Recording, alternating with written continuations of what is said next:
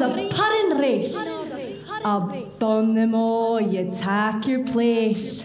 Pinch, tripe, or thorn, we'll are you worthy, O grace, as lang as my arm. The groaning trenches there you fill, your own is like a distant hill. Your pain would help to mend a million time will need, while through your pores the dews distill. Like amber bead.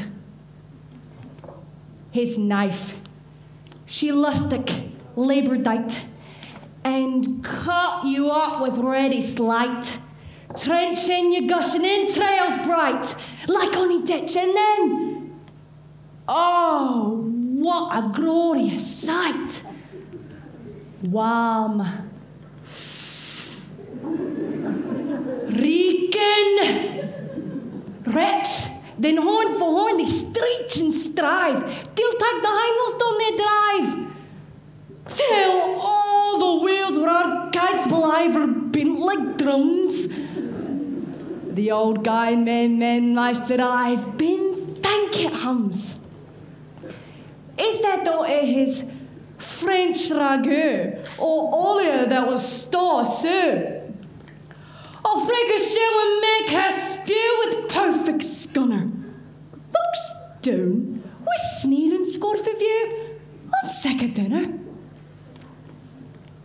Pure devil, see him all his trash, as feckless as a weather rash, his splinter shank get whiplash, his knave.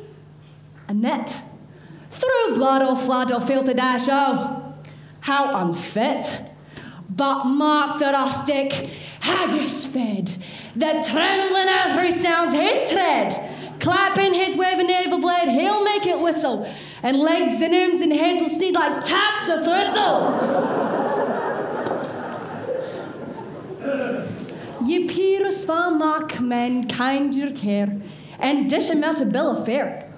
Old Scotland wants no stankin' ware that drops and loggies. But if you wish a great for prayer, gear her a haggis.